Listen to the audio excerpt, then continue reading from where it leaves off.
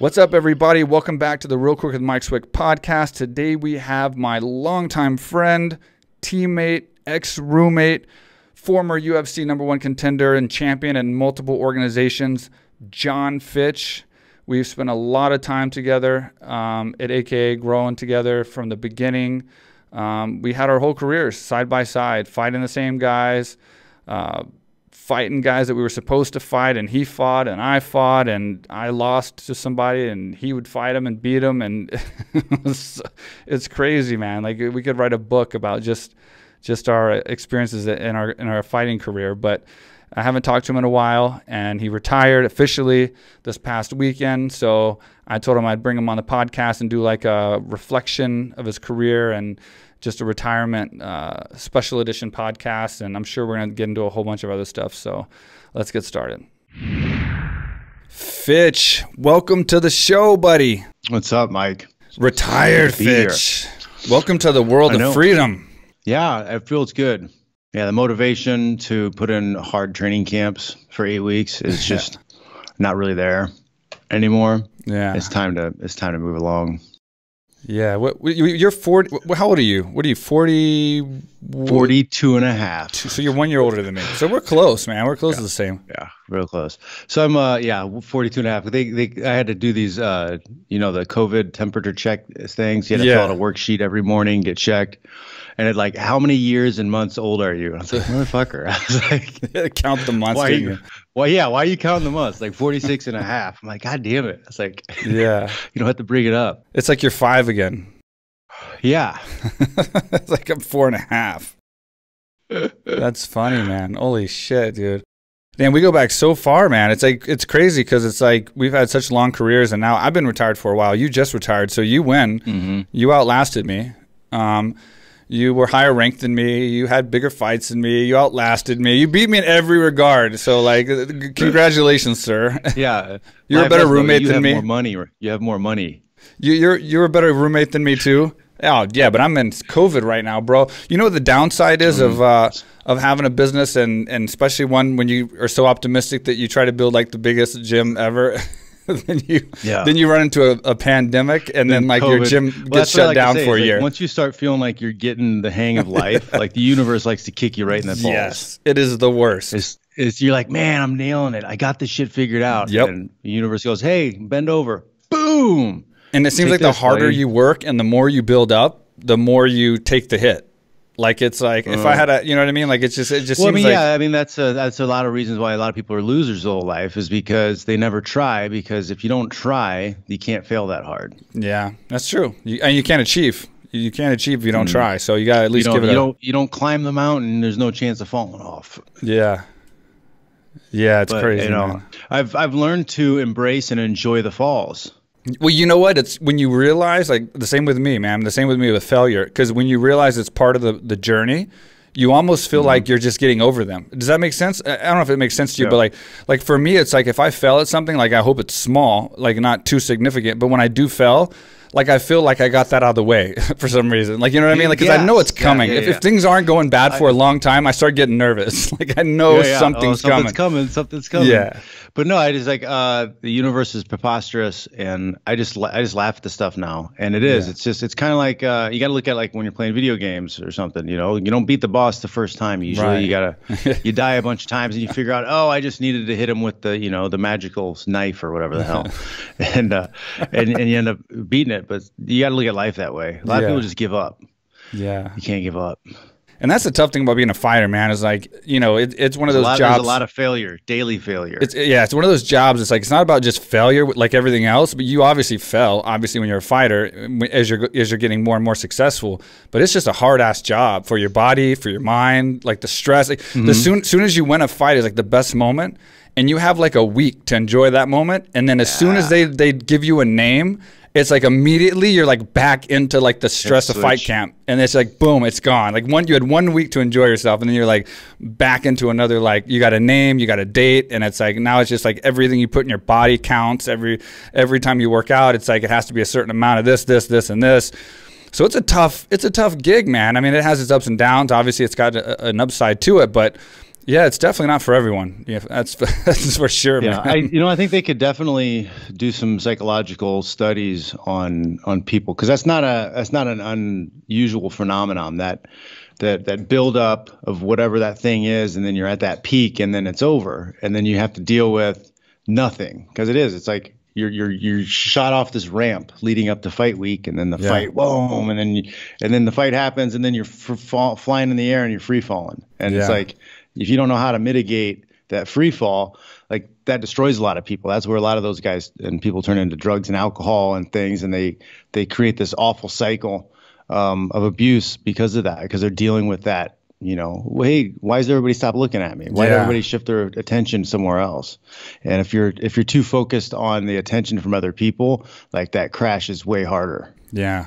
No, I, I agree with you 100% on that. And then you realize business, well, at some point you realize business is where it's at as far as like longevity yeah, and resolving income, but then that's even harder. Like I, I, I put up some free courses on Gumroad like to test it out and test out uh, selling, uh, you know, instructional courses. Because that's what I am at heart. I'm a teacher. I've been teaching yeah. since I was in junior high. So I put out some free courses out there: uh, kids wrestling course, uh, a 90 day neck care uh, course that I, that I that I that I used to help fix my neck, and then I did a, a resistance band training course, and then like I made like two hundred dollars yesterday.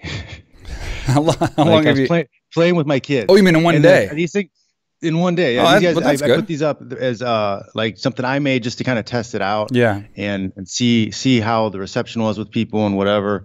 And uh, yeah, I, I spent the day playing with my kids and taking care of my dog, and I kept getting notifications on my phone, ding, ding, ding, from people downloading. And it's a free. They're free, but people donate money every once in a while. Nice. I made like two hundred dollars in a day. Oh, so like. Nice there's just way there's there's a lot of opportunity out there to make yeah. way more money than getting punched in the face, and uh, yep. I'm starting to embrace that a little bit. Yeah, and you know what? Like, you know, like my route was is good or was good until the COVID, but it's like it seems like like if I give advice to people, I would lean more towards like I'm always going to do what I'm doing, and you're going to do what you're doing because that's who we are. We, our lives are fitness, our lives are or whatever, or mm. or, or, or yep. whatever your expertise is. You know, training and stuff. You're going to train the we'll, things that, that you know. Things into that type. Yeah, but like the future definitely seems more closed. I mean, it seems more like people wanting to be in, in their house, more online, more like I can see like in 20, 30 years from now, people are going to be way less outside than inside. That's that's kind of how I see things. Unfortunately, it depends like on on some scale, but at the same time, there are people who are thirsty for other human attention, and like one of the things that me and I was talking about, uh, you know, my uh, my other podcast partner Chris Tinkle, we have a, t- a podcast called Fitch and Tinkle Smash Everything. He's a, he's a comedian, awesome. so he's hurting because there's nobody going to do stand up yeah. shows. So like we're th- we're we're tooling around with ideas about doing uh, pop ups in the park you know, and uh, it's a free free show with your microphone or your speaker, oh, wow. and then people go to the park and donate because there's there's people who want to just be somewhere. Like he yeah, did, a, he did a little test show in my backyard uh, when I was away at Fight Week. Um, actually, I was in Indiana uh, doing some stuff, but he did a little test show with you know uh, like eight people in our backyard, and just to kind of test it out. And yeah. like people want to, you know, uh, they want to find something where they can go out and be somewhere out. Yeah, yeah. you just have to find idea. a safe way to be able to uh, to do it. If you get pre-testing from COVID and things like that, just to make sure people aren't too nervous. But uh, if you can find a way to to get people together, I think there's going to be a lot of money in that. Yeah, and, and that's true because like especially as a crowd, even though they're outdoors, at least it's a crowd. Like, um, yeah, I've seen some of the comedy uh, clubs and stuff. They're doing like online now, so it's like live feeds mm-hmm. and stuff. It's not the same yeah. when they're up there and they're telling jokes and nobody's clapping and laughing. It's just like so because like some things so you, you you you know you play off the crowd, you feed off the crowd, especially yeah. with comedy. So like that. Um, you know, I watched. Uh, it was like Post Malone and and was it Travis Barker and those guys? They got together and did a in their house of a bunch of uh, Nirvana songs. Yep, I saw that. That was like that was like the beginning. That was pretty sick. That was pretty, pretty amazing. Awesome.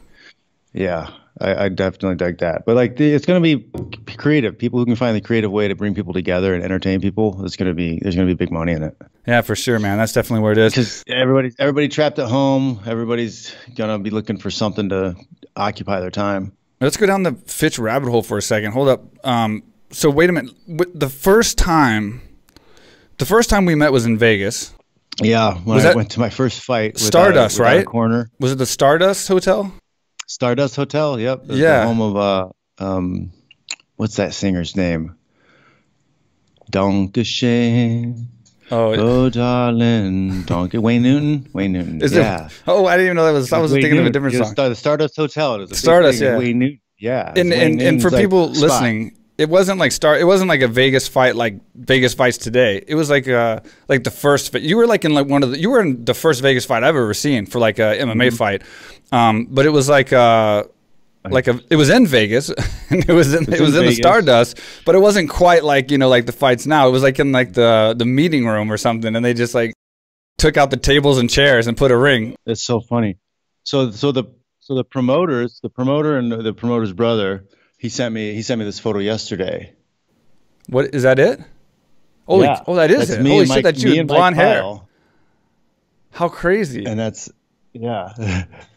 It's 205. I got my blonde hair. Yeah, you were you were big then, dude. Uh, well, because I didn't realize how much weight people were cutting. I thought I was going to be a 205 pounder. I thought I'd fill out and, and fight at 205, walking around at 202. Yeah, I had a friend fight yeah. on that card, and then I was there too. And, and I remember rolling with you, and you were so strong. And then we talked about training. I know we talked about our gyms and all that, but what what from that point got you to AKA? Like, what? Because then all of a sudden I saw you show up at the gym yeah, I, what got me there was so okay. I got that fight because Tom Erikson was my assistant coach at Purdue, and Tom had fought in Pride, and he knew some fighters, and he was just uh, he put feelers out for me to try to find me a fight, and he found this fight for me. He almost got me into Pride. Like, the funny thing is, you never sparred. Let's go ahead and mention that you never yeah, sparred before fight. you got to AK. Never sparred. Yeah, never sparred, and he almost got me into Pride for my first fight against like Amir Navari, I think. so Radnamari. Oh yeah, I know who uh, that so, is. Yeah. yeah. So, so so I uh, yeah I went to uh, that Vegas fight. I didn't have a I didn't come with a corner. I came all by myself. I, I had the wrong type of mouthpiece and I didn't have a cup at all. That's and right. That Amir guy ended up giving let me uh, borrow the cup, and he cornered me. And then that whole the guy from uh, Fight Club was there too. Um, no, his name's uh, Holt, uh, whatever. But um, he's a famous actor, and um, not Norton, right? He, was it Norton Holt? Uh, no, it's Holt McCole, Holt, some uh, Mc, something. But he's on TV now. I he's on a show on TV now, and he's he was on Fight Club, and so like Fight Club was a big movie at the time, and that was one of the reasons I started fighting was was because there's a line in that movie about how do you know much about yourself if you've never been in a fight, and uh, it was such a weird stardust we go things like this guy was in my corner uh, you know, for the fight. And I was like, wow, that's wild. I, I borrowed Amir's cup and then I had, I had never sparred. You know, I had I had seven fights before I had sparred one round. That's crazy, man. but I met Brian Ebersole okay. out in Vegas, and me and me and Brian clicked. We were both country boys, and uh, he was at Eastern Illinois University, and I was at Purdue. So that's a two-hour drive.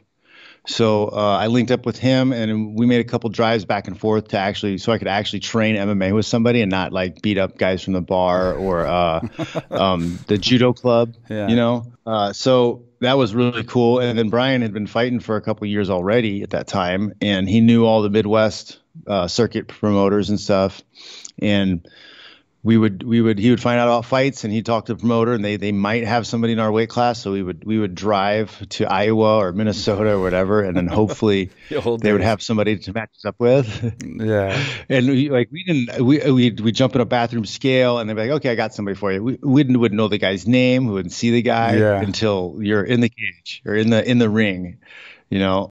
Um so Brian Brian is uh you know what got me some fights, and then I fought in Minnesota at Brad Kohler's event, Ultimate Wrestling.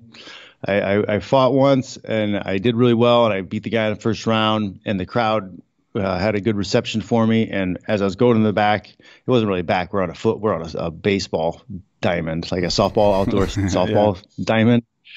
And uh, I went out back to the trailers, and there, you know, I'm getting ready to take my gloves off, and Brad Kohler runs over and says, "Hey, you know, keep your gloves on." He's like, "I got another fight for you if you want it." Oh my god! and uh, yeah, like right after I just got finished fighting, no medical check, whatever. Um, he's like, "Keep your gloves on. Uh, I'll give you a hundred bucks if you fight this guy." And I was like, ah, "I don't know. I came here to fight one time." And Ebersole looks at me. He's like, "If you don't do it, I'll do it." He hadn't even fought yet. Yeah.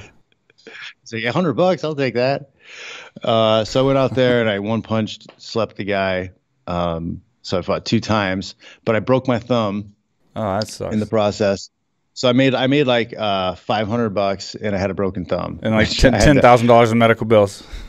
yeah, it's like seven thousand, a little over seven thousand. Oh but, shit, I was close. Um, I think I've spent enough time, but uh, I had one of the other pro wrestlers because I was still there as a grad assistant. I had them say that we we wrestled on Sunday and bro- oh, yeah. I broke it on Sunday wrestling. So thank you, Purdue Insurance, for taking care of the thumb. nice. nice. And then, but but at that at that fight, Sean Sherk was there. Okay, he was at that minute. He was at that Ultimate Wrestling up in Minnesota, and I talked to him briefly. Um, Ebersole had talked to him before and kind of knew him from that Midwest circuit, and uh, Sherk was represented by Dwayne Zinkin at the time. Mm-hmm. So he had Dwayne on the phone and uh, told Dwayne that I was an animal and I looked like I had a lot of promise.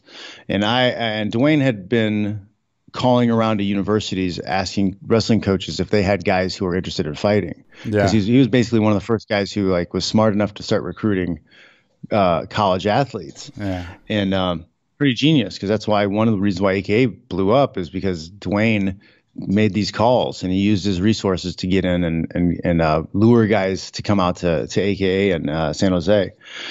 But yeah, they they uh, we started a dialogue and then and then um, after Sherk talked to him, they they sent me a contract to sign up sign with them to for them to manage me. And uh, the next thing I did was go out and, and train at AKA for that week, and rest is history. Yeah, I remember, when you came in, I was like, "Oh shit, I know that guy." I was like, "The guy from the Stardust, the strong 205er." No, I was I was super pumped. I was like, "Man," I was like, "It's cool that uh, there's people here I already know and like." And because um, yeah, I was moving far, far from everything. yeah, I sleep. I was sleeping on the floor. I had me and my dog yeah. in a sleeping bag for like at least two months. The early days, man. Holy shit, that's crazy. It's living the dream, man. I was I loved every second too. Who was there when you got there? Like who who was the guys? Who, who all of us were there when you got there? I'm trying to think of the timeline. Um, you were there. Thomson, uh, Mike Kyle, Trevor yeah. would pop in and out. Buenatello was probably there too at the time. Trevor Prangley. Brett Buenatello was not there yet. Oh, he, he came later. Wow. Yeah, he came later. Um, uh, Bobby Southworth was yeah, there. Was... Uh, Rich Crunkilton it just makes you laugh when you say his name. How funny yeah. was that guy? Dude, that guy needs a fucking camera on him 24 7. Yeah, He's he the most entertaining man I've ever been around.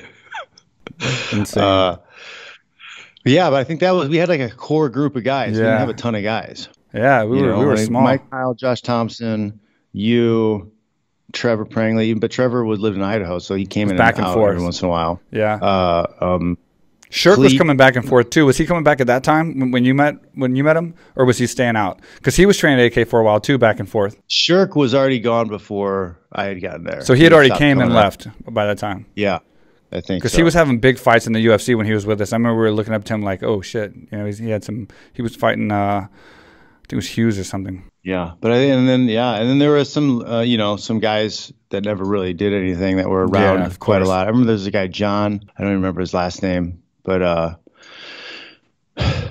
yeah. But yeah, it was it was kind of more like a smaller group. It was like five to ten guys on the regular for a little while. Yeah. Until until until like the the Ultimate Fighter happened, and then you know more people started showing up, and we started growing. Yeah, and then you, man, that's so, yeah, and then the Ultimate Fighter happened, and some of us left, and you just kept killing it, man. You were just like crushing every fight. Like, how many fights did you have just while we were gone, man? You were supposed. Well, obviously, I, you were supposed I mean, to be I, on there. I was on a. I, did, I had a 16 fight winning streak. Yeah, it was crazy. From the time that.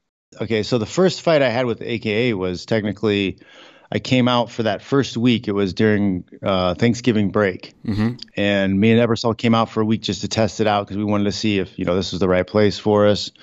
And you know, I fell in love immediately because there was like there was like three or four coaches in each discipline. Yeah. you know, and I was like, oh my god. And then and then you could search around the neighborhoods and or the area, and there was other gyms, and I was like, oh my god, this is this is this is the mecca. This is where I got to be. And we because actually sparred. There was, nothing, there was nothing to train with. There was no black belts. There was nobody to. I, I was I was taking Muay Thai lessons from a girl who went to a seminar once. That's already funny. She, because she was the expert. She was the expert in the area. Yeah. No one else had, had learned how to how to throw a leg kick or whatever. Like I, I I was learning from her. We brought her into the wrestling room. Like, okay, teach us. she's like, well, Jeez. I only had one class. It was like a kickboxing class, but like we, we were doing what we had to do. And then uh, I I took a fight um, that Ebersole was going to have, but Ebersole got hurt.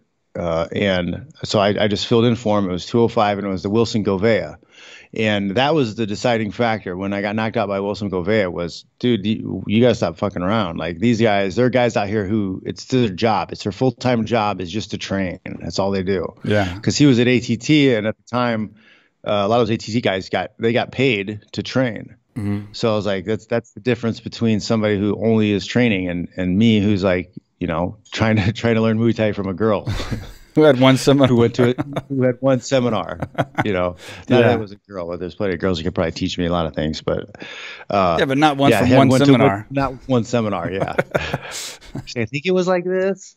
Yeah, yeah. And it was like, yeah, we just kind of like because people wonder like how it started, and that's kind of how it started, man. Like it's, it was just a bunch of us like and that's it. Like just a bunch of guys looking for fights. None of us had big names at the time. Once we broke the team off and started over, and and and officially, I guess you would call it uh, started AKA or call it AK Team AKA, whatever. And uh, yeah, man, it was Bob Cook, Javier, and uh, and then the well, team it was like, said. Uh, I was there when Frank split. So you were there for the split. Yeah, when when Frank split. So you got there right he then. He had to talk with us. He was trying to like lure us away. So for those listening, it was it was actually when I when I joined AK or or when I joined American Kickboxing Academy, it was Team Shamrock. So it was Frank Shamrock. That's why the, me, Thomson, a lot of the guys originally went. Um, Frank was the head of the team, and he he was five time UFC champion, big superstar, obviously.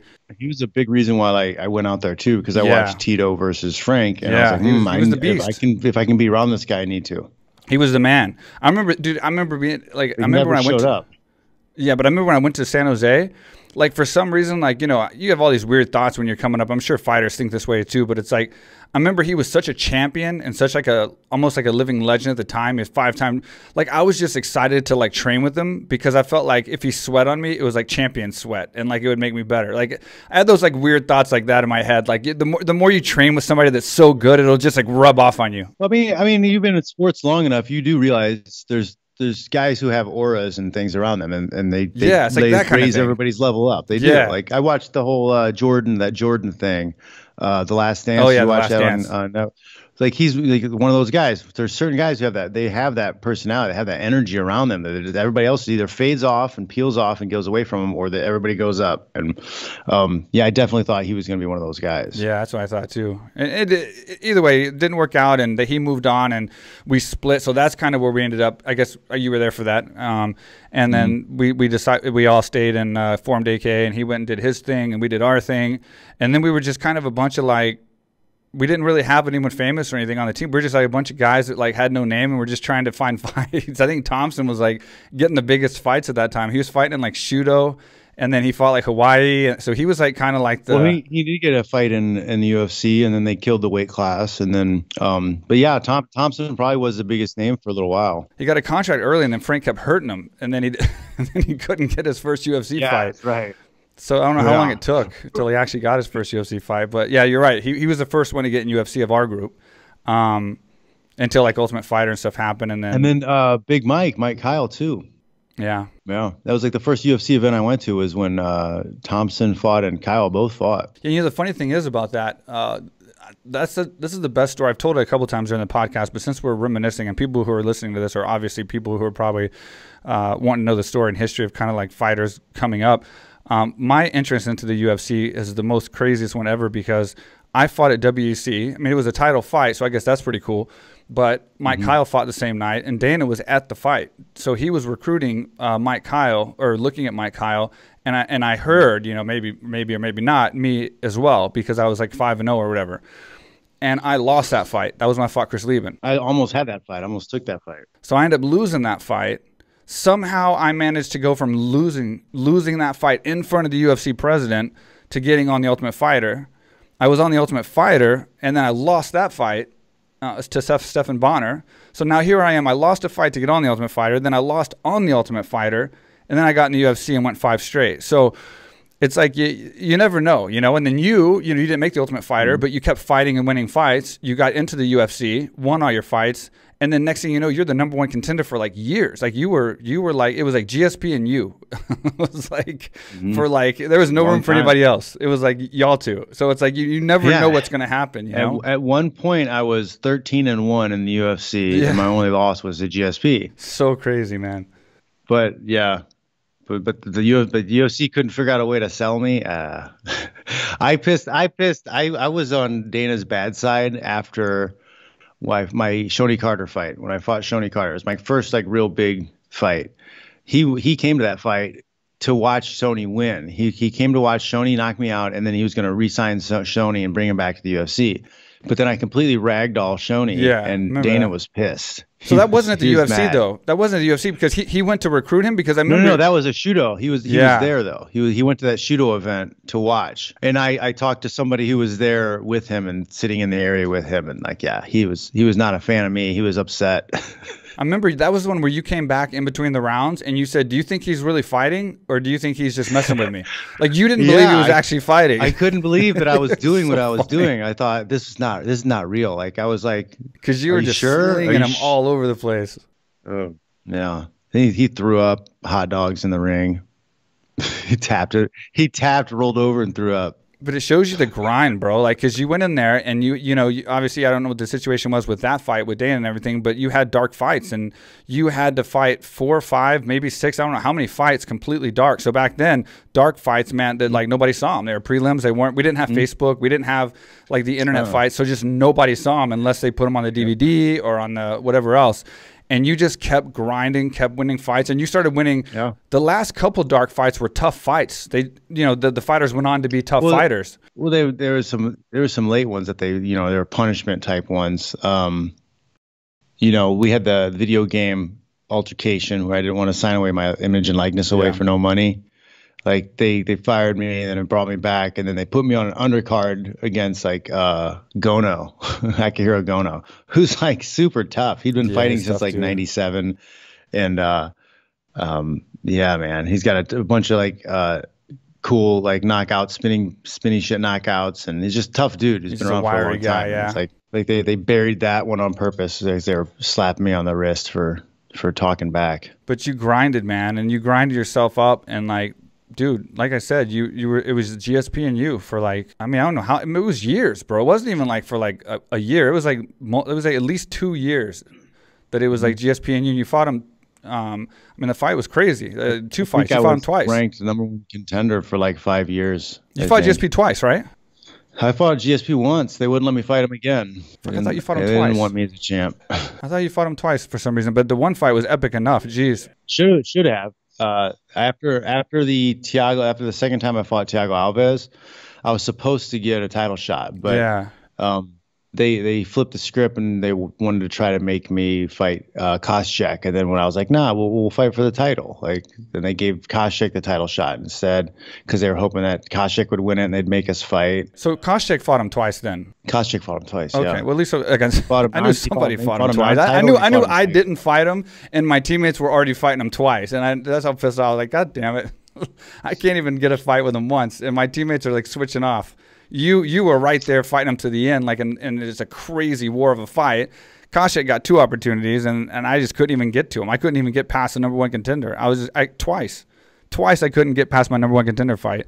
But man, either way, I mean, Jesus, in the list of people that you fought, you've had 40 fights, right? Something like that, pro. 40, uh, 43, 43 professional fights, two amateur. So I've had 45 total fights. Jeez. I did a tour. So I fought. Uh, what I think a lot of people are blown away by is I fought uh, three times where I fought more than one fight in a night. Yeah. That was like my amateur days.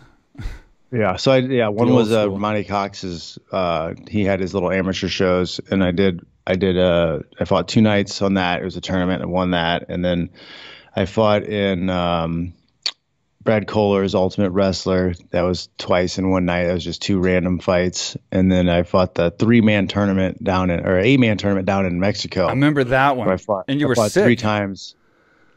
I had mono. You were completely sick, and you won an eight man. Yeah. you won a tournament, dude. And it was, a, oh, like it was I, crazy. Yeah, dude. I like I felt fine when I was going, but like after a round and in between things, like I was just everything would crash and, and Yeah. feel terrible. And I, I got mono because the girl I was dating was like making out with her girlfriends down at college, and all of her girlfriends got mono together. she gave me mono. And then you had to go fight an eight man tournament. Yeah. Oh, good. Lucky you, dude. It was all it was all good until that point. I'm sure the the getting the mono was fine. But then the going and having Oh, the yeah, eight man tournament wasn't so fun when I still sick. won. I got the belt still, so yeah, you did. the mono went it. away, but I kept Yeah. the belt. That's funny, man. And then me and you, a lot of people might not know this, but me and you were roommates. So in the middle of all this UFC fighting and career and all this stuff, me and you were roommates, and we were living at the same uh, place. Me, you, and your dog. What uh, what was his name again? Um, Bricks. Bricks. Brick How did I forget that? I knew it was like something with a B, and it was like he's so big, but but that Mm. wasn't his name, obviously. But Bricks, yeah, he would just like my door would be completely shut, probably like locked, latched with boards and everything, and like he would just come up and like bump it with his nose, and the door would come open, and I would just be on bed would- looking over at him, and he'd just be looking at me just like this. I would have to go around Like, the house dude, and what wipe do you want? the the bottom part of the doors because he would get his like eye boogers and stuff from butting the doors open to look inside. Oh. So like there'd be like the little bottom part of the door would be dirty. and I have to wash it all the time. Dude, I remember we were so we were so broke that we would eat frozen grapes and ramen Mm. noodles and tuna fish every day. Yep, that was pretty much the staple: eggs, uh, eggs, tuna fish, ramen noodles. You taught me how to make the most flavor from being broke. Maury Povich, you were not the fire, fire you were not the father was the uh, the entertainment after was Maury training. Povich. That was the best. Maury Povich. Remember, remember we sent an email because we were so mad because he always comforted. Or I did because because he, always comforted the the Yeah. the female. It's like it's her fault. Yep. No, there's no. Yeah, there's no. Uh, there's no female accountability. I mean, there's 20 guys on stage and none of them are the father. It- Mm, you don't make fun but of the they're all guys. trash. The men are all. The men are all trash. Yeah, come on. It's not her fault. I mean, no innocent. offense, ladies, but I mean, if you are if you go to Maury Povich and you have 20 guys that may be the father of your child and none of them are, I'm not going to feel sorry for you. Well, if you want responsibility of your life, you're going to have to have accountability over it too, and not Yeah. that's not taught. And and it's only gotten worse, I think, in in this generation. I think there's a lot of people who expect to have responsibility over things, and then they don't want any accountability. So if things go wrong or if they screw up, it's not my fault. Yeah. You got to own your shit, people. Own your shit. That was us like every day, just coming home between training, ramen noodles, frozen grapes, and Maury Povich. And then we go Living back the training life, again. living the dream. Living the dream, dude. And then we would we would uh uh you got me a job with my buddy Kenny at uh Boswell's Yeah. and uh we would, as a door guy and um that that was what my nights out were was I'd go and I'd work and I'd watch all the ridiculous drunks. Yeah. Christian would always get me in fights. I was a door guy at, at uh, House, the Vault, Mm-hmm. And I was the smallest door guy. I was like the only small door guy. And so, like, anytime there was a problem, they always made me go. I always wanted because they you. knew that people would want to fight me because I'd be like, "Yo, you got to leave," and there's like four guys, Mm-hmm. and they're like, uh "Uh, we're not going anywhere, kid." And then like they start trying to punch me. It was crazy. Oh, those were the days, man. Yeah, if I if I if I didn't work when I was working security, like my job was to be a deterrent. I wasn't going to put hands on anybody. I wasn't actually going to do anything. Yeah. Like you get ten dollars an hour. You're like you're not paying me enough to actually get involved.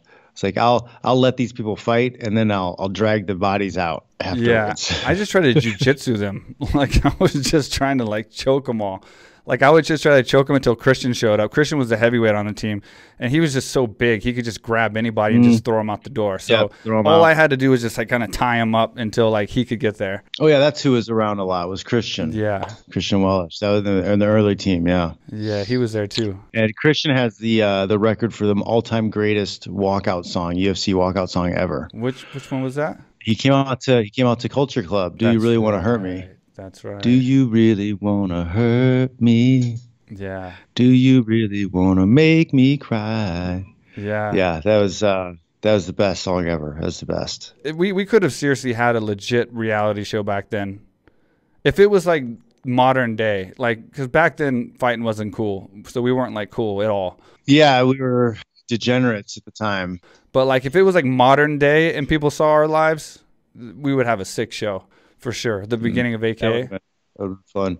Well, I mean, even if uh, you know the way things are today, yeah, if we was have been doing that right now, we could have you know had YouTube or whatever and Right. be putting up our own our own content and doing our own type of thing. Me and you did that kind of quite a bit though when it started. We would do vlogging and stuff like that. We were we were the most on a team that did that. Yeah, I did like 2009, 2010. You told me about it, and then I got into it, and I started getting really into it, and then I just it became too much pro, too much difficulty because I was getting slack from my ex, and it's just like it's hard to like put yourself and time into something when somebody's like shitting on it all the time and kind of putting it down. Like, why are you doing that again? And Yeah.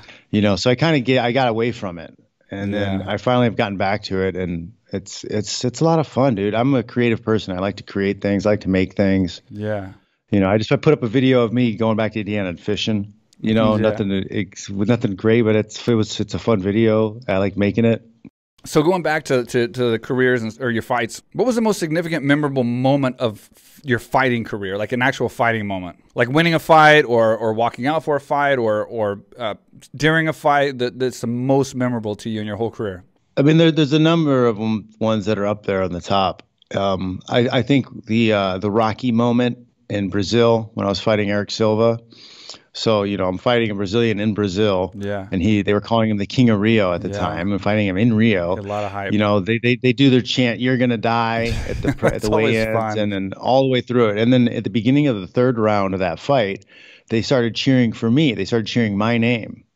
So it was like the Rocky Four moment, where like all the Russians started cheering for Rocky, Yeah. and I, that that was that's one of the coolest things ever. I turned I I turned an arena into like telling me I'm the, I'm gonna die. And, and screw me to like cheering me on to win and beat their guy. That's that's one of the greatest things I've ever done. That's crazy, man. And they do that. The Brazilian fans are kind of honest, man. Because I remember when, uh, also when Ronda Rousey went there and she fought Bethe, same thing. The Brazilian fans went for Yeah. Ronda over Bethe. they'll root against you, and then you show them your medal, and if you, you know you show them your medal, like they'll they'll they'll support that shit. That's for sure. The cool thing about our intertwined career is like we fought a lot of the same guys, and then we fought like guys that we were supposed to fight, and guys that like mostly you beat guys that beat me. beat me. You had my back more than anything. Well, but Eric like Silva, I was Kinga supposed Ura, to fight, and I guy. We both fought that guy. who Kinga Ura, remember we, Kinga? yeah, we beat Kinga Kinga Ura? Ura. We beat Josh Burkman. So we had a couple wins over those guys. Burkman. I lost to Okami for my, and that was to fight Anderson Silva, which may have been a good thing, I guess, because it was a close fight that I lost to him, so I didn't get that beat. Um, and then it would have probably been a violent, vicious fight with Anderson, one way or the other, probably on his side, uh, bashing me up. But uh, you ended up beating Okami. And then uh, you fought Erick Silva. I was supposed to fight Erick Silva. That's when I blew my knee out, took three years off. I was pretty bitter about that. I lost to Paulo Thiago. That was one of my other losses, and you fought him. He he mm-hmm. knocked out Koscheck. I filled in for Koscheck in the rematch. The unofficial main event of UFC 100. Oh, ah, that's right. You were the last fight of the night against him on UFC 100 after it was Lesnar, right? Yeah. People are getting up and leaving, and I'm walking out to the cage. Yeah, there's still one more, guys. Yeah, I remember that. Yeah, that's crazy. So he, he ended he knocked out Koscheck. Then he and then I had to fill in for Koscheck short notice because Koscheck hurt his knee, and then I jumped in to fight him and lost. And then you ended up fighting him at UFC 100 after Brock Lesnar. I think it was Lesnar fought. He fought was that Mir or something, something like that. I think Lesnar Mir was the main event. That It was was, one of the supposed to be the main fights. event, and then we got it was a swing bout, and we got pushed to the very end. Those were the days. Like people don't realize that too. Like the they called it the.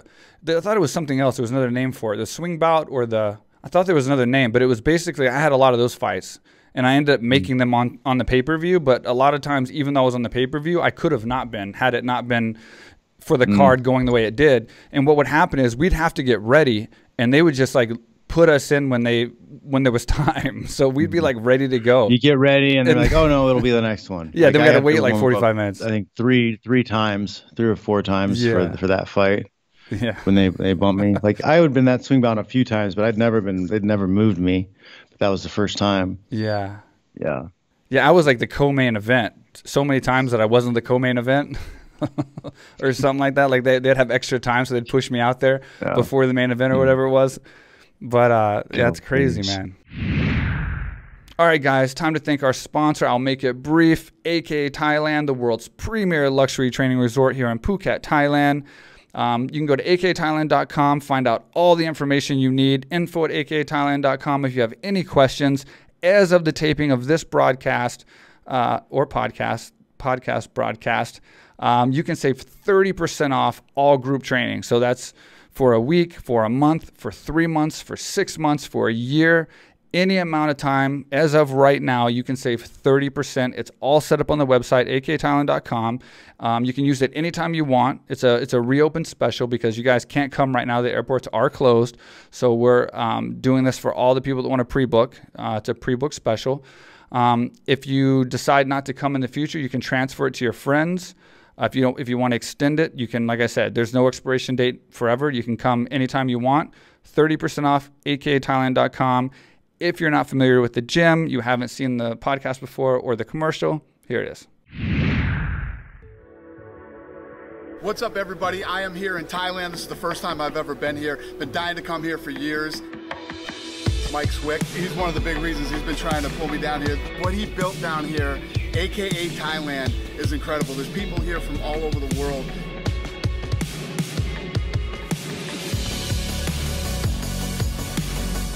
You can train mixed martial arts here, jiu-jitsu. They have weightlifting, they have cardio, and obviously they have Muay Thai, boxing, everything.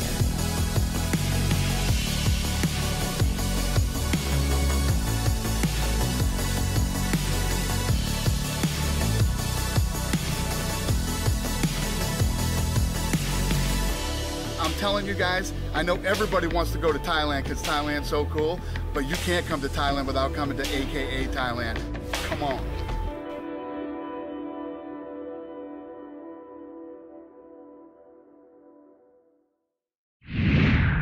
what is your biggest? Because you fought forty three or whatever times you said, um, and and the list is just unreal. Is there anybody that you regret that you didn't get to fight? Like, is there any matches you didn't have that? There's a ton of fights that didn't happen in the UFC that could have that you wanted to have, though, did. But you really you wanted, know, like.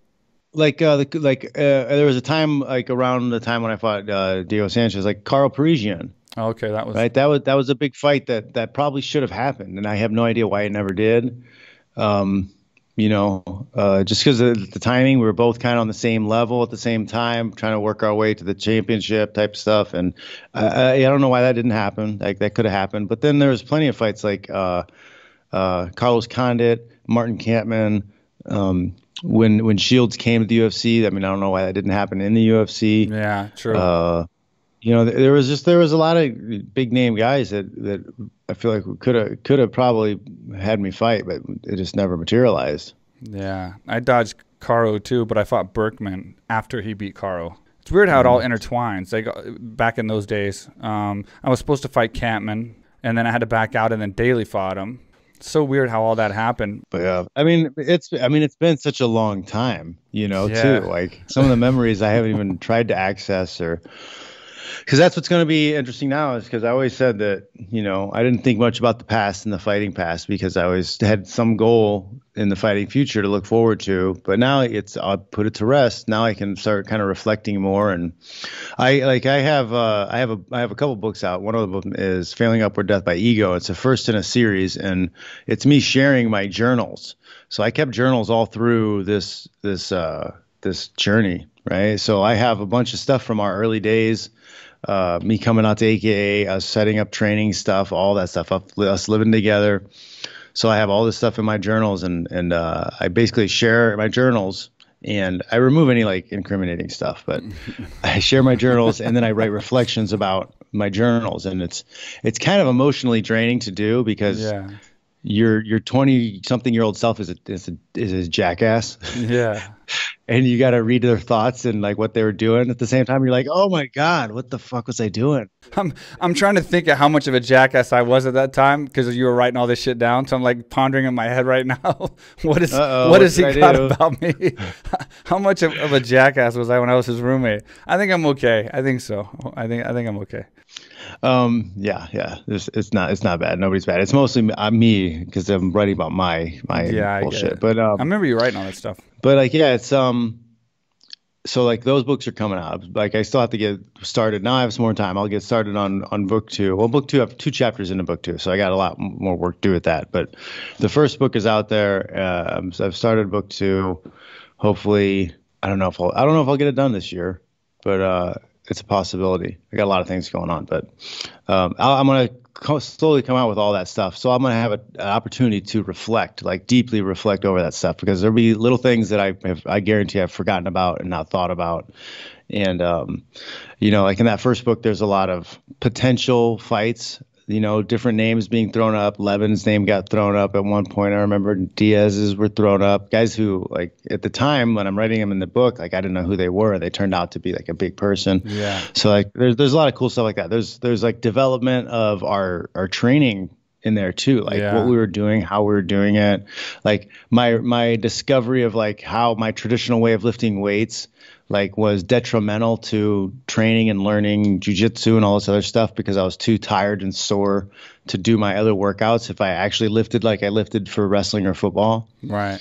Uh, and we had to change that thing. Uh, we went to we were going to CrossFit before CrossFit was a thing. I remember that. Like yeah, early, but that didn't early two thousands.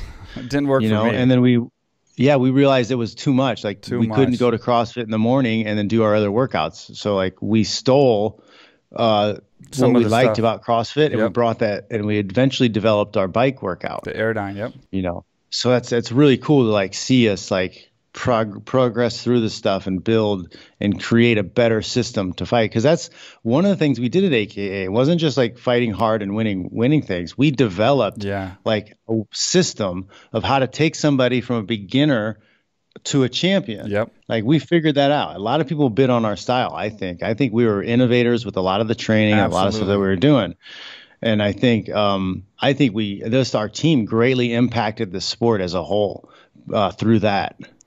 I mean, dude, think about other teams. Like, I mean, there's a lot of great teams out there. There's a lot of great coaches, and nothing against any of them.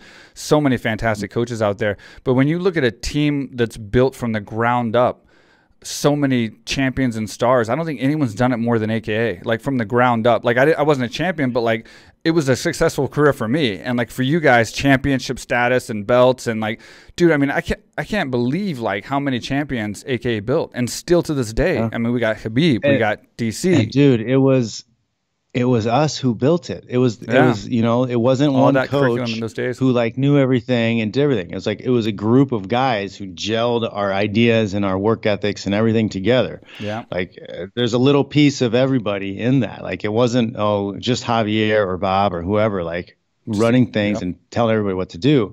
We were all working together like trying to figure it out. And like I think that's one of the coolest things because it was such a uh, conglomerate like of effort of, of minds pushing that and figuring out what worked, what didn't work, how to do it. You see some guy having success with something, other guys would start uh, implementing and copying that. We'd, we'd share techniques, share ideas. We take turn running practices, you know, like that was pretty cool. I think a lot of people probably like that even give us credit for having uh, a great curriculum and building champions and stars. Still kind of think we're a bunch of meatheads that sort of just kind of figured it out. But like, dude, we were literally. It was like it was almost like school. Like I remember after class, Yeah. we always had not after class. Here I go. After uh, training, we would always have meetings. And we would do just like you said. Like we would Yep. literally put stuff together. We would reflect. We'd Yep, reflect. we would reflect. We'd figure out what Yep. worked, what didn't, and whatever didn't work, we would throw out the window, and we wouldn't do it again. And it's like we really did Mm-hmm. Yep. Work hard to to build a curriculum that became Mm-hmm. what it is today.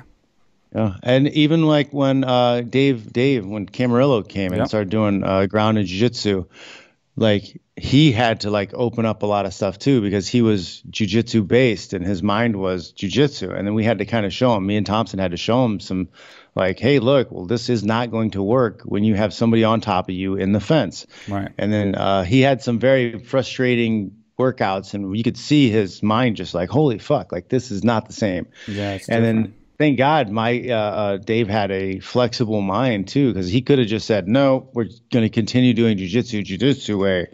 And but he didn't. He like he opened up and then he started working with us too and and and man that was that was important. That was a really important step also to get somebody with that type of level of uh, aggressive jujitsu and then having him be able to morph it into a more fight dynamic more fight uh, ready um, techniques and it was cool when people, you know, not people, when our teammates started winning so much, and like the Mm-hmm. all that work was starting to pay off. It seemed like it all happened kind of, kind of at the same time. Mm-hmm. You know, we started like launching off into to getting these victories, and it was just like one after another, and it was like wow, we were just like it was cool to yeah, be such a team and doing it together. You know.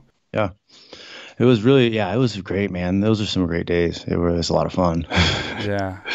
You know, the the the training, the uh the events going out to Vegas and stuff, and then the, the parties afterwards. It was yeah, man, that was a dream, man. That was some that was a that was like the best time too because uh, you were a big deal in Vegas at the time. Now yeah. it's like fighters are a dime a dozen. Yeah. So we were, you know, we'd go, we would get bottle service, yeah. we would get taken care of. Like Fight it was town. fucking yeah, yeah. It was it was a good time. What's one of your biggest celebrity moments? Like uh, being a fight, like obviously when you you were, you were where you were in the UFC, you were a big deal and you were a celebrity, what's one of your big instead of like fight memories, but more celebrity memories where you got to do something you um, never would have been able to do before or hang out with somebody that you would never be able to hang out with and you were just like, holy shit, this, this is crazy. I have I have uh, I two. One of them is actually on film, and it's uh, in my documentary, uh, "Such Great Heights," uh, such great, such great, such great heights. Yep. But it's when I met Anthony Kiedis. Oh, so like, um, yep. Yeah, they were they were the guy. They, Bob and those guys. They were trying to put together like a reality show type of thing, and some of the investors. One of the investors was like Anthony Kiedis or whatever. So like, they didn't even tell us. They came to the gym one day I and we're working out. and I'm training for the GSP fight, I think. Yeah. And or I was, I was training on GSP. It was for some fight. I can't remember which fight it was. But um, no, I'm sorry, it was a GSP fight because it was yeah, that's what the documentary is about. But he he came in the in the thing, and I at first I didn't think it was him. Yeah. I thought it was just some guy came in and was watching workouts. And I was like, man, that guy, that's funny, man. That guy looks like Anthony Kiedis. And I was kind of joking around. They're like, oh, yeah, that is. I was like, so what? Crazy. So, like, I got a chance to meet uh, Anthony Kiedis. And that was, he, I'm a huge Chili Peppers fan. Like, that was a that was a big thing for me in junior high. Is a lot of people went down like hip hop and rap, and like I found Red Hot Chili Peppers and alternate rock. So like that was like a big defining thing in my life was finding Red Hot Chili Peppers, stealing my sister's cassette tape for Blood Sugar yeah. Sex Magik. You know, don't downplay it either because like, dude, he, you were like one of his favorite. Like I remember when I talked to him because uh, he was like following you and watching you. Because when I talked to him, it was like Fitch, Fitch, Fitch, Fitch, Fitch, and I was like, damn. First of all, it was like Anthony Kiedis, and the fact that he's like all talking about you so much, it was like so cool. So I mean, don't downplay it, dude. He, he was, was, like watching yeah, you. He was like he's from like Michigan originally, and like so I know he identified with he being a country boy, kind of. Yeah. That that was really cool. And then the coolest thing ever was after I fought once, he was at some fights, and I don't know how this happened, but like we're sitting down. Um, it was like M- it's MGM, like because like you walk down to the arena and there's restaurants kind of right next to the way you're down to the arena. Yeah. But like it was after the fights and people were coming out. I think it was like uh, BJ Penn and uh, uh, GSP fought the second time or something. And so everybody was leaving the arena and we were already sitting down to eat and Anthony Kiedis is walking all by himself. There's crowds of people everywhere, and he's just walking by himself, minding his business. Nobody even noticing him.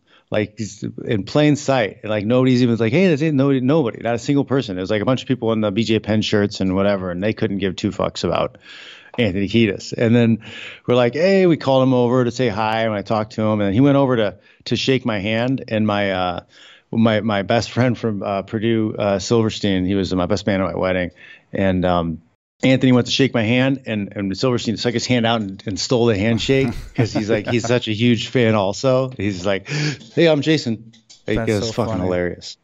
But like, yeah, it was that was a that was a bizarre thing too to see him just like walking down the walking down the thing, people around him everywhere, and like not a single person paying attention to him because it was like a fight audience. So like they, their fighters. mindset wasn't about yeah. music at all. Yeah. yeah. that was cool. I remember he would come to the gym. That's crazy. I met uh, Leonardo DiCaprio at Ultimate Fighter season two finale, and that was pretty damn cool. I, I told cool. the story once before, but he was there. He's he, he's a he's a low key fan. He goes to a lot of the fights, but he's real low key. Always has his hat on. Mm. Uh, puts, yeah. his, puts his brim down. No one knows he's even there. Uh, he goes in with his guy, sits yeah, yeah. down. He doesn't want anybody to put cameras on him. Yeah, people who go to like actually watch the fights rather than to yep. be seen. There's a lot of people who go to see. Oh, the girl. Uh, that that was a fun conversation too. The girl from uh, that '70s show. Yeah, Donna. I she played Donna. Um, she was a fan, and she I sat next to her. Laura and She was really excited. Laura Prepon. Yeah. Laura Rippon. Lippin. Something like that. She's in the Orange News Black too, I think thing, and that was Yeah. that was before that talking about. show I hope I started. She was name up. talking about that. I remember. Yeah, she was big. But yeah, I got too. to meet her, talked to her for a while. I kicked I kicked Drake out of my seat. I didn't know who he was. he was sitting there with my with his girlfriend or his chick, whatever, and uh, I didn't know who it was. And I was like, "Bro, you're in my seat. See?" I showed him my tickets. He's like, "Oh, oh." He's like totally surprised that I was like telling him to move. But I was like, "Yeah, this is my seat. You got to go." I had no idea who he was. you should write a song on your ukulele about kicking Drake out of his seat or Yeah. your seat. That would be a big hit, dude. That'd be good. I That'd be remember. I remember That's Rob funny. and Big came and they sat next to me and my ex- my my ex wife now, but my my Big, Big was a cool dude. he was cool, man, and he was like flirting with my my uh, ex wife, but like in a joking way. He was like being funny, and we had no idea who they were, and I and we knew they were famous because people were coming up to them, but they had just came out and they were sitting next to us, and we kept asking people like, who who are these guys? Like who are these guys right here? And like they were like, oh, from MTV, you got to watch the show, and we didn't know at the time, and then obviously after that I saw. But and and then I, I knew who they were, and then I followed Dyrdek, obviously, and uh, rest in peace to Big. But uh, yeah, man, it, was- it was super nice guy. I met him at Yeah. a got to meet him at a car show, a random random nice. random car show in like Florida or somewhere, and he was he just popped up out of nowhere. He's like, "Hey," introduced himself. I was that was really cool. Um, MC Hammer was an awesome I dude. remember him like, being there. much respect for MC Hammer because that dude, we were out at a club or somewhere, and he sent over his representative to come and, and say, "Hey, uh, I'm here with uh, you know MC Hammer, and uh, he he would really like to come over and, and say hi, whatever." And like completely, complete gentleman, did it completely the right way. Like I've had people like send people over to summon me, like some or wave me over and shit. I'm just like, "Fuck you!" Like you're gonna summon me and shit. Like I'm doing my own thing. I don't need to fucking come over and you know, like, hey, come over here, buddy. I'm like, no, like, you come here. If you want to talk to me, you come here. Like, Yeah. I think Carrot Top did that shit or something. I was Yeah. like, fuck you. Like, you're gonna summon me over. I'm not your boy. Um, but yeah, he did it the right way. So uh, he sent somebody over to say hi, and then he asked if he could come over. And I was like, yeah, awesome. And then we I got to chat it up with him a little bit. He was Yeah. cool. Um, yeah, great experience. Man, those were the good old Much days. love, much love for MC Hammer.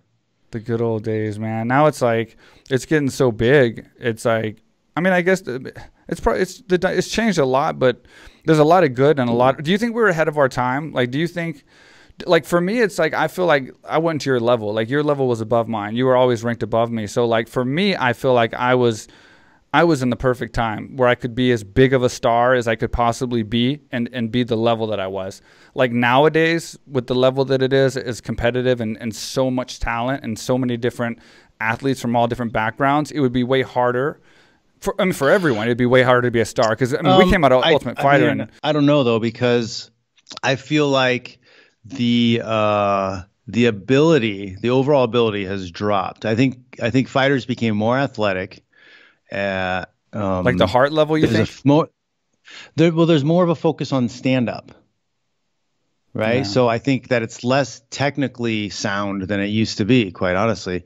I think a lot of the ground and a lot of the grappling type stuff has been abandoned for the show of stand up. to try to be flashy. So, yeah, so I think there's a lot of guys who um, have shorter careers because they focus too much on the stand up, and I think that there's a lot of guys who who you could uh, take down and, and put in bad positions pretty easily because they're just not used to guys doing it. Right. Uh, so I mean, I, I I don't know if it's I, I still think guys who I still think we would have you know if we would have been coming up at this time, we could have been been as successful technically, but at the same time if if you're not selling tickets the way the promoter wants, the promoter has so much more control now than when we came through. Yeah. So, you know, so that that would play a huge role in it too, because like you have to have a certain level of social media followers to even get signed with some promoters. Right. Like they'll straight up tell you, no, you you need more of a following on this. You need more people here. Like there's no buzz around It's a you. popularity world now for sure.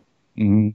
So that's kind of that's kind of what I want to get into now. Is uh, you know one of my one of my side projects or one of my projects is going to be kind of kind of doing that. I want to start a company that that I, we can take a fighter and and uh, develop their brand and make them more visible outside of the cage, Smart. which would increase their their their revenue potential with with the promoter. So uh, hopefully, I think I have some good ideas. Like I can get that done for some some people. That's a good idea. And and looking and going back to what you just said, I mean, you are right about that, man. I, I never thought of it from that perspective, but like like your grind like the way you grinded and fought is a rare thing, man. These days, like like a lot of these guys can't couldn't have grinded and trained like you did. And then for me, the way I fought, like balls to the wall, like just crazy in your face, super mm-hmm. aggressive. Pull the trigger, go. I, mean, I, think there's a lot of guys that are out there fighting right now that I could bulldoze through. You know, like if I was in my prime. Yeah. Uh, I'm not saying all of them or anything, but uh, it is a different. I guess there is a, a plus and a minus side to to the kind of oversaturation of fighters now um, because a lot of them are star chasing, and I don't I don't mm-hmm. think they are training yep. quite the same way as we did back in the old days, which did make us more of kind of like I don't know I would say like more tough sort of like. Well, I mean, we were fighters. We were real fighters. It wasn't so much about. It was for the love so and much passion. about the show. You yeah. know, we we wanted we wanted to win the fight. We wanted yeah. to be good something. at fighting. It wasn't yeah. just that we wanted to be famous fighters. We we wanted to be good at what we were doing. Like it was a it was more of a martial arts mindset, I think. They say like obviously to be the most successful, you have to be passionate about what you do. And we had to be passionate because there was no real like mm-hmm. upside when we started. You know what I mean? Like there wasn't like all the money and fame when we got into it. So we obviously I, were I, I all really thought, passionate. Though that there was going to driven. be like I could see the potential when we first started out. Like I could definitely see potential for the money being made. Like I, I knew that people were going to catch on to fighting and it was going to be popular. So what what is it that like like obviously you got a lot of plans and, and, and, and ideas for what you want to do now but what is it like the most ideal situation for you in like say 10 years? Like like as far as where passion meets you know sustainability and, and, mm-hmm. and something you can actually do for a living what is it that you ideally would like to be doing? I, i'm going to be i like having my hands on a number of different pots. So I'm going to continue with podcasting. I was going to ask you about and, that. Uh, using that stuff, and and you know, you kind of have to you kind of have to podcast if you have a business and yeah. you're not you're not on social media, you're not podcasting. Like, are you even trying to sell? Are you even trying to have a business? Like, it's you just you just need powerful. to because that's that's the way you develop your tribe. It's the way you develop your your uh, your brand loyalty. So you, you kind of just need to do it. And it's fun. I like doing it. So I'm going to be doing that. I'm going to be continuing doing videos and stuff on, on YouTube. Uh, I'm going to be doing a lot of seminars and, and, and teaching. Uh, consulting, you know, I, I, and, and I may not be f- teaching a fighter from beginning to championship, but I can be a consultant where right. you bring me in for a fight camp, you bring me in to help figure out how to beat somebody. Like that's how my mind works. I'm analytical. I can break things down. I can figure out this is what you got to do to beat this guy, and right. I can I can get you to that point. So I want, I'm going to try uh, to do that a little bit.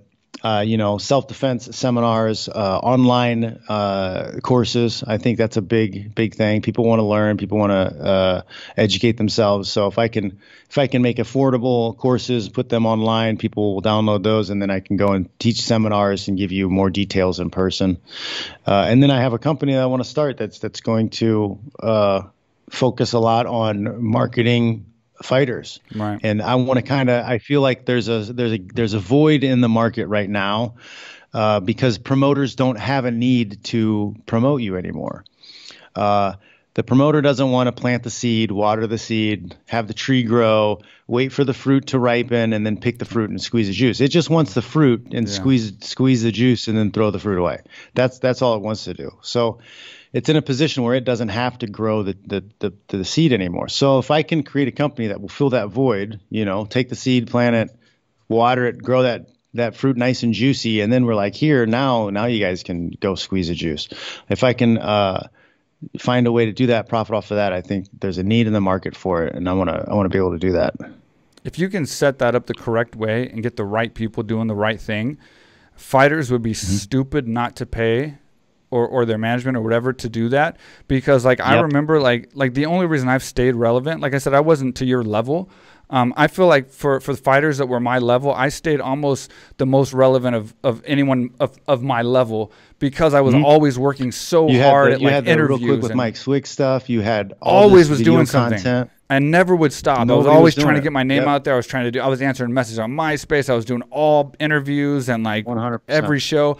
And it's like that was a lot of work. You know, it took a lot of work out of me. And if there was somebody that yep. could do that for me, and and yeah. you know, I would have hired him in a second. Like that would have been the yep. smartest move I ever made. Yeah, because you're only that's the problem with with you know especially nowadays because guys fight maybe twice a year sometimes. Yeah. So like if you sign two fights a year with a company and say it's a you say it's you know a good company with promoting, like that's only like a month of promotion, you know, and the most of that promotion is going to be that last week fight week. Yeah. And then afterwards, nothing. Yeah. So you got what? You got you got two months a year. Yeah. really, two weeks a year. You're getting a push from somebody who's yeah. put money and time into pushing you that's that, that's that's you're going to disappear. Like you have to figure out a way to do it yourself, so that you're always in people's minds. They're always seeing you do something.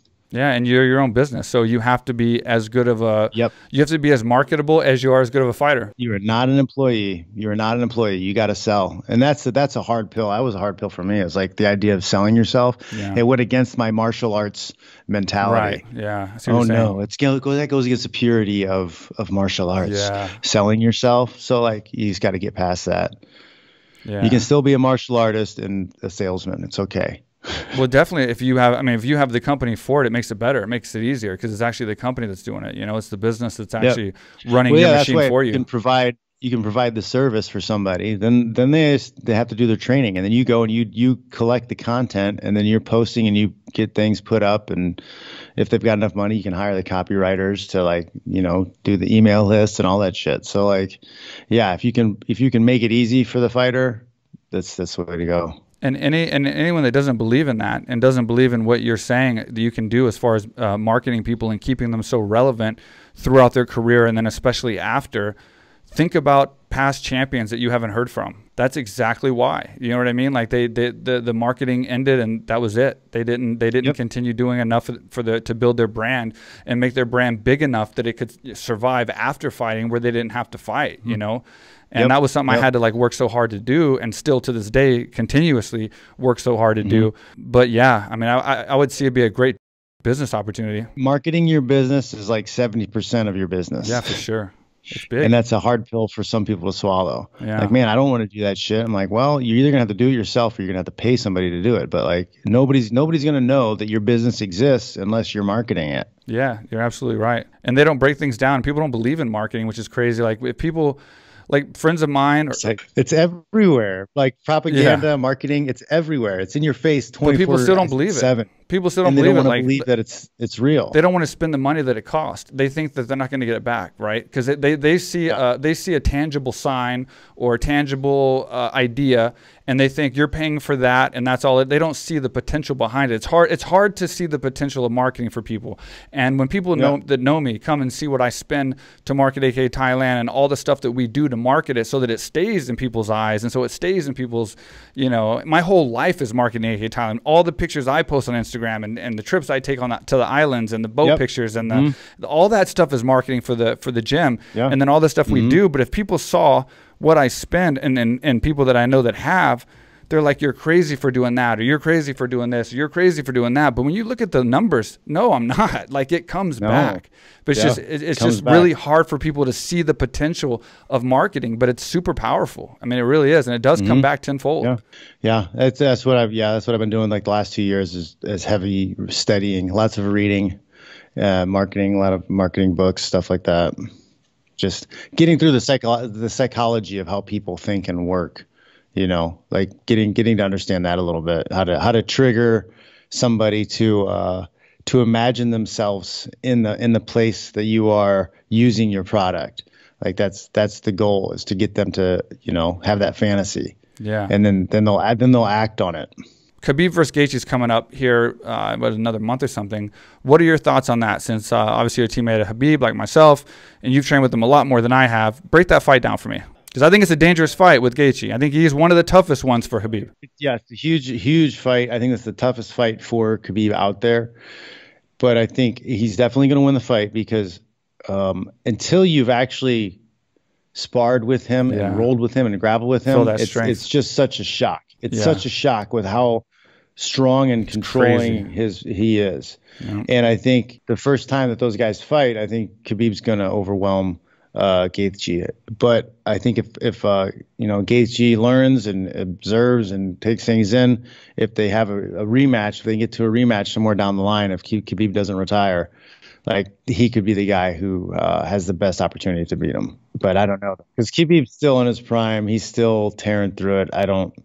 I don't know, man. I think he could the be the first guy and the only, well, one of the only guys to ever uh, retire undefeated in MMA if he if he keeps doing what he's doing. But I will have to say to boost the fight, you know, honestly and non-biasedly, I will have to say it is it is a dangerous fight um, because obviously I'm going for Khabib and I want him to win.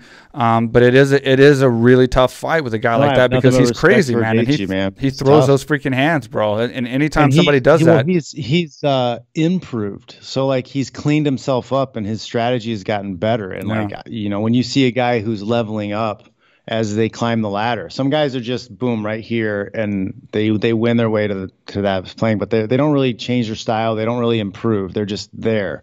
Yeah. And uh, I you don't see that with Tony. You're I'm not Tony with with Justin. You see like little steps yeah. up. He's getting better. Yeah, but I agree with you though. Like That's I think scary. I think when That's he scary. when he Yeah, no, I agree it's scary, but I do agree with you once he feels that that it, it, it's something you can't prepare for. It can, it can suck this when somebody grabs a hold yeah. of you with that strength. You're like, holy Jesus! Like everything becomes a little bit harder. Every yeah. little adjustment, every little every little position becomes a little bit harder. And coming from you, especially, like it's it's easy for me to say that, and people's like, "You're not a wrestler. You're not." Of course, he's gonna throw you around, but like coming from you, that that's more, you know, obviously a legitimate mm-hmm. claim. When when when you're saying the same thing I've said about how strong he is and how he can just his balance and the way he can make your body move without yep. you you being able to do a damn thing about it is just insane. Yeah. It's crazy. That's for sure. But man, and I'm looking forward to you enjoying your retirement, man. And I want you to get on to Thailand again and come visit. Um, obviously, you have some time now, so when the borders open up, buddy. Yep, I'll be there, man. There's I'll no excuse now. Yeah, that's uh, you know anybody else who wants me to do seminars. I love to travel, and uh, it gives me an opportunity to make some more content. And then I love teaching. You know, I got lots to teach, lots to show, share, uh, share all the all the crazy stuff I've come up with over the years. You got to set up like a world tour, man, and just come through Thailand and just go all over and just do seminars, man. Mm-hmm. Live a little bit. Good. Get those years do back. Like a, do like an East Asian tour and then hit up uh, Europe. be yeah. cool. Well, it's been awesome having a career with you and alongside you. And shit, we were roommates, we were teammates, we fought together, we fought the same guys. We it was it's been an awesome time, man. Now, now we'll have to do some business together. Yeah, now we gotta now we gotta sustain ourselves for the rest of our lives after face punching. But uh, man, right. great career for you, man. I just want to say uh, you've had an awesome career, man. Always been an inspiration to myself. Your hard work ethic, uh, your drive, your fortitude, your training. Um, so best of luck to you, and and I'm glad to see that you're actually gonna move on to that next step, man, because it's it's it's a it's a whole new adventure, you know. And I think you're gonna enjoy yep. it. You're gonna embrace it, and and it's gonna be a whole new ride for you. Yeah, exciting times, man. Can't wait. All right, brother. Thank you so much for doing the podcast. Yep. Thanks for having me, Mike. All right, brother. I'll talk to you soon. All right, Jon Fitch, my longtime teammate, my longtime friend, my short time roommate. I guess short time was like a year, so I, I, it's not that short. I guess when you're 41 years old, that's that's kind of a short time. But uh, man, so many stories with, with our career, and and I know this podcast was a little bit longer than than our usual podcast, but I haven't talked to Fitch in a long time, and he recently retired, obviously this last weekend. And you know, I wanted to to reflect on his career a little bit and tell some old stories, and it was really hard to like not keep getting into details because this podcast would go on for like five hours. So I was trying to like pull back as much as I could and and keep to the basics, but. Um, yeah, it's it's crazy, man. Like it's it's crazy when you have such a tight knit team, and we grew together, and and the team has achieved so much from where we started. You know, we started kind of at the bottom, like we talked about, and then just built everything. I mean, the the curriculum, the the program, the fighters uh, were like family, and still today, everybody's really close. You know, and I think that's a rare thing um, today. I think a lot of fighters are rushing to get to the top and they're bouncing from gym to gym and they don't have loyalty and they forget that loyalty is one of the most important things when it comes to being a good fighter because um, it, it's it's a it's not a team sport, but it is. You need your teammates. You need people to be there for you, and without loyalty, you're not going to have those guys come in on Christmas morning, you know, or Christmas afternoon, and, and spar with you because you got to fight right after. You know, you got a January first fight or something, or you know, coming on their birthday or coming on their holidays or, uh, you know, at weird times. But when you have loyalty, they do that. And, and and you have teammates that want to help you and make you better. And you know they care about each other. And i think it's very important. And i think we covered that quite a bit. And it should be a lesson to all of you out there that want to be fighters. Um, you know your team you know the camaraderie of your team the loyalty of your team is so important um, you got to look at that when you pick your gym um, obviously you have to have a hard work ethic you got to work hard you got to push it um, you know i don't feel like i had you know natural technique I definitely didn't have natural speed, which is what I was known for my whole career. I 100% didn't have natural speed. That I gained um, through training. Um, Fitch also is another example of somebody who just grinded so hard. He worked so hard to get where he is. I mean, everything you see as far as his technique and his skill set when he fights, he learned. You know, he didn't. He didn't. It, it's not his natural ability of being freakishly fast or freakishly strong, which he actually is really strong. Um, that got him where he is. It's just the fact that he trained really, really hard. And I will say this Fitch is one of those guys that was there all the time, no matter what day it was. If I needed Fitch on Christmas, if I needed Fitch on a holiday, his birthday, you know, whatever the case, he was there. He, he was there training. Um, and I was there for him as well. And I think, and, and we all were at AK. And so I think that's, uh, that's something that's uh, unique and, and definitely to look for in a team. So, anyway, I hope you took away some some positive from this conversation. I know it's kind of long, um, so hopefully you had a long commute and got to listen to the whole thing. Uh, we we rattled on a little too long, but uh, anyway, I hope you enjoyed it. If you're on YouTube, leave a comment. Let us know what you think. I will say this for those of you listening in real time. Uh, I am getting an exclusive interview with Khabib and Javier. Um, I can't say the exact number of the podcast or, or date yet um, because we're still working on it, but it's going to be very soon. So stay tuned, subscribe to the channel if you're on YouTube. Um, it's the first time they've ever done an interview together. And we're going to have it exclusively here on the Real Quick with Mike Swick podcast. Um, and I'm also going to have Zuba and Islam and the whole team. Uh, all that's coming up within the next week. So, with the next week and week and a half. So, stay tuned, subscribe. If you're on the audio platform, SoundCloud, Stitcher, Spotify, iTunes, follow us there, subscribe there, leave a review if you can. We really appreciate them. We always try to answer the questions. We really appreciate the support. You guys are giving us enormous amounts of support. You're boosting us to your friends. We greatly appreciate it. We'll see you next time.